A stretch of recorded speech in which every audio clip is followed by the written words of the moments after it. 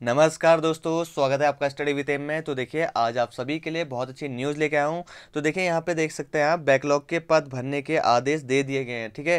तो देखिए, कल भी मैंने एक वीडियो अपलोड करी थी, जिसमें मैंने आपका ऊर्जा निगम में जो आपके छः सौ सात सौ चौंसठ पदों के सापेक्ष वहाँ पर वैकेंसी निकालने के लिए कह रहे हैं और उनको स्वीकृति मिल गई है और कुछ ही दिनों बाद कुछ ही दिनों में सात सौ चौंसठ वो पद भी आ जाएँगे आपका।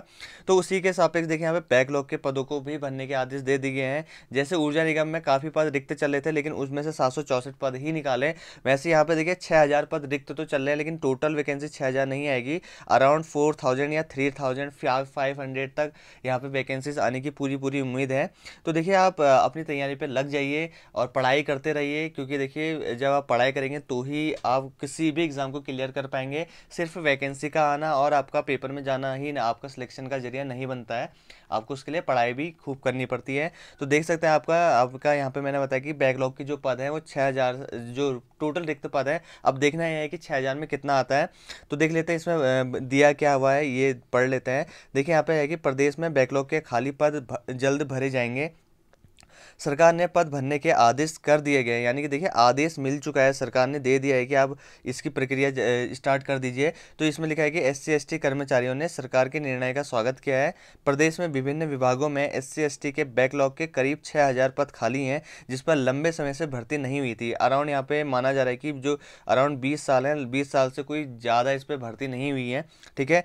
तो इस पर है कि जिस पर लंबे समय से भर्ती नहीं हुई है, ऐसे में एस सी कर्मचारी संगठन मांग कर रहे थे कि बैकलॉग के पद शीघ्र भरे जाएँ। शासन ने इसी साल मार्च में मौखिक रूप से विशेष भर्ती अभियान चलाकर बैकलॉग भरने के आदेश भी दिए थे, लेकिन इस पर किसी भी विभाग ने अमल नहीं किया। अब अपर सचिव राधा रतुड़ी ने भी एसीएस प्रमुख सचिव और कमिश्नर डीएम और विभागों को तत्काल बैकलॉग पद भरने के आदेश दे दिए गए हैं। आदेश में ये भी कहा गया है कि जितने भी पद खाली हैं, उन, उनके लिए तत्काल विज्ञप्ति निकाली जाए, पर विज्ञप्ति और जिन पर विज्ञप्ति निकल चुकी है, उन पर तत्काल चयन प्रक्रिया शुरू की जाए।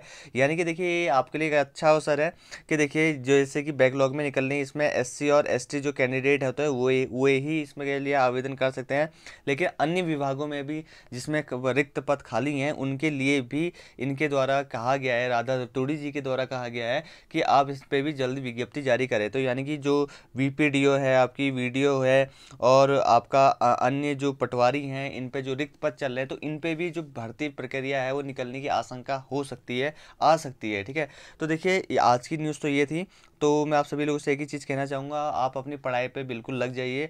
देखिए अभी अच्छा टाइम है दो तीन महीनों का टाइम जो मिल रहा है आपको, जब पेपर होगा तब आप तुरंत तैयारी नहीं कर सकते हैं तो आप अभी से तैयारी पर लग जाइए। हमारे यूट्यूब चैनल के द्वारा भी पढ़ाई कराई जा रही है तो आप उसको भी देख सकते हैं। तो यदि ये देखिए, आपने अभी तक हमारे यूट्यूब चैनल को सब्सक्राइब नहीं किया है तो देखिए आप प्लीज़ इसको सब्सक्राइब ज़रूर कर लीजिएगा।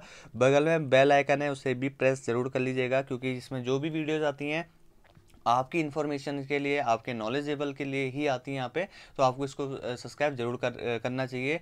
तो ठीक है दोस्तों, उम्मीद करता हूँ सभी लोगों को मेरी यह वीडियो पसंद आई होगी और जितने भी आपके आगामी पेपर हैं, उन सभी के लिए स्टडी विथ एम की ओर से wish you all the best धन्यवाद।